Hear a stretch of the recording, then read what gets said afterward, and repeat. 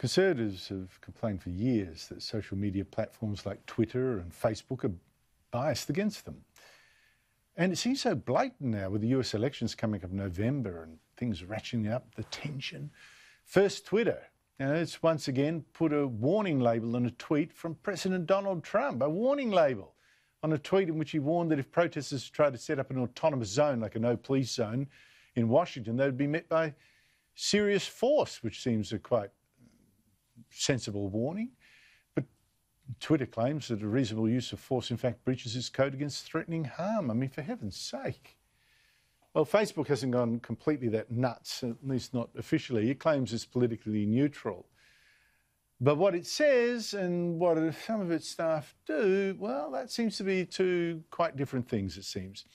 Project Veritas has released now film of a sting it did on a company that did moderating of posts for Facebook. Although this company is getting out of that business, but still it was in it when this was was filmed, fully in it. Now, Project Veritas had a reporter go in with a hidden camera and film moderators actually boasting how they censored posts from Trump supporters, censored people promoting his MAGA slogan, you know, Make America Great Again. Um, it's a very progressive company who's very anti-MAGA. I assume your coworkers were deleting a lot of Trump. Nobody likes Trump and mask outside. You don't leave any go, do you? Like, if you see a conservative post, you just get rid of it. Right. I don't give no f- I'll delete it. Like, even like hashtag MAGA or hashtag MAGA 2020. It's political, it stays up. Yeah, but not for you. No, oh no. Deleted. Yeah. So it's like it's like delete delete any like positive Trump supporter stuff. But if it makes him look bad, We have to take it down, but I leave it up. how, how many of you are, are like take your own stance and say say we're just deleting whatever all the all the Trump posts. There's only probably like 16 of us.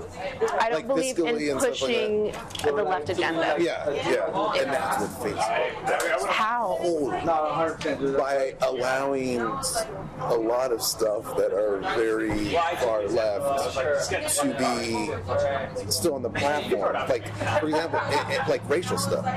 Okay. White, you could call me white trash based on me being white, but I can't. But if you say Asian trash, black trash, brown trash, we got to delete stuff like that.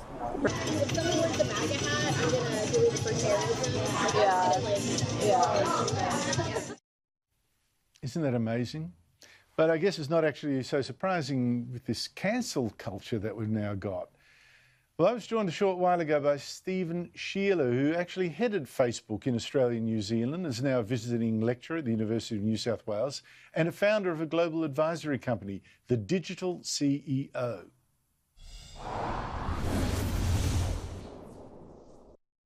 Stephen Scheeler, thank you so much for your time. The Project Veritas video shows Facebook moderators boasting about censoring posts supporting Donald Trump and then letting material through that attacked him.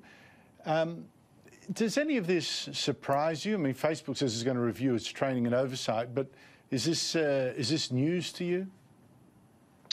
Uh, Facebook's a big company with thousands of employees, tens of thousands, and contractors and third parties doing this sorts of content moderation. So I'm not surprised that things happen, things slip through. So this doesn't surprise me in that sense.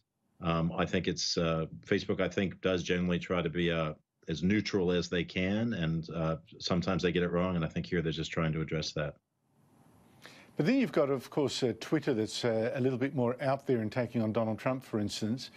Uh, I've never heard Facebook accused of favouring conservatives. It's always been the other way round. Um, why do you think social media platforms tend to be so hostile to Donald Trump? Well, I'm not sure. Your question sort of presupposes that they are. I'm not sure that they are in, in terms of how the the companies run their businesses. I think there is a, a high degree of attempts at being neutral. Um, you have to think about all the decisions, the thousands of decisions that get made within Facebook, millions, literally every day about what to what to allow uh, on the platform and what not to. And Facebook and Twitter both are on the side uh, the side of allowing everything that they possibly can on the platforms because they don't want to be the you know the editor of the truth or the the arbiter of the truth. But the reality is that's an impossible task and particularly at the scale that twitter and facebook work at. So um, you know they're grappling with that today. I think they're going to continue to grapple with it. I think society is going to grapple with it. I actually don't have easy solutions myself. But i understand how people feel like the tech giants have biases and, and that's because people have biases and their leadership you know are clearly are not um, uh, not conservative. They're in Silicon Valley. They're they're uh, tend to be more left leaning.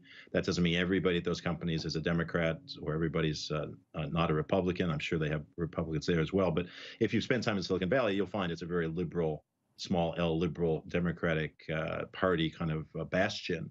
And so naturally, those are the folks at those companies. And you know, you we as humans, we have our biases, and as you all know, everybody watching this, it's not only explicit biases, it's also unspoken, unconscious biases. And when you take those unconscious biases, you try to build algorithms around them, you try to systematize them, but then you spread it over billions of people, billions of pieces, pieces of content. Inevitably, there's going to be um, those biases are going to surface, and I think that's what we're seeing now with uh, what's happening on Facebook and Twitter. Well, it should become even more obvious, I think, uh, with the heightened tensions coming up to the election. Uh, you, are quite right to, to note that the, officially, Facebook in particular, Twitter less so, but Facebook in particular is committed to uh, not censoring the the uh, president, for instance, not slapping warning signs all over his his posts or anything like that, or posts about him. But that's still true that uh, Mark Zuckerberg has come under a lot of fire internally from staff that want him to go down this way. Uh, do you think he'll be able to resist for long? Um, Mark's pretty um, powerful, and he's very um, single-minded and determined. At least my my my time I spent with him, that's what I observed. Um, but I think he's in a tough spot here, uh, and and not look. I'm not crying for Mark Zuckerberg. I think he's you know he's he's built the built the situation that he's in, and now he's trying to deal with it. But but the tough spot is that you know Facebook's created this platform that is now the it's kind of the the town hall. It's the public square for how discussions and conversations happen about all kinds of topics, um, not just politics, but you know everything's discussed on Facebook. And so Facebook has to stand in the middle of that and say, well, how do we? What role do we play as the platform? And uh, this was easy in the past when you were a newspaper or a TV station, and you would you'd work out okay what programs we're going to show, what what what what what what this program alone, you know what what uh, stories are we going to cover, who are we going to interview, you know what's going to be the angle, what questions are we going to ask. You're making editorial decisions along the way. Now the difference is your programming is is shown to a you know an audience of thousands, and everybody can watch it at the same time. The difference with Facebook is it's shown to audiences of millions, and everybody's watching an individual channel, as it were, that's tailored just for them. And that's the bigger thing that he's grappling with. I think even bigger than that is uh, doing all that at a time when we've got a cancel culture running riot and uh, keeping your head in that is extremely difficult.